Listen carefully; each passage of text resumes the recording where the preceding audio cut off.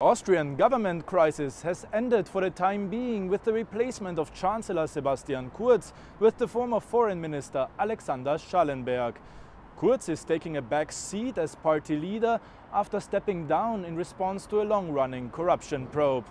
Schallenberg was sworn in as the new Austrian Chancellor by President Alexander van der Bellen in a ceremony at the Hofburg Palace in Vienna.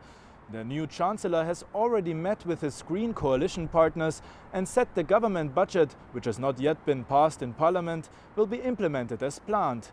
Schallenberg is well experienced in the international arena. He grew up in India, Spain and France and studied law in Vienna, Paris and Belgium.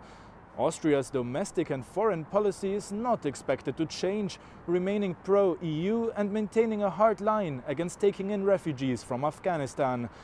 Federal President van der Bellen warned that because of the corruption allegations against Kurz and nine other people, trust in politics has been massively shaken.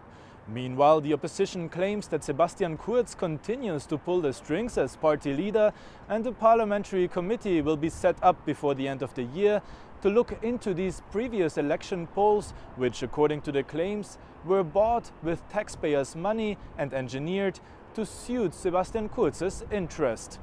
One thing is certain, the former Chancellor is going nowhere quickly.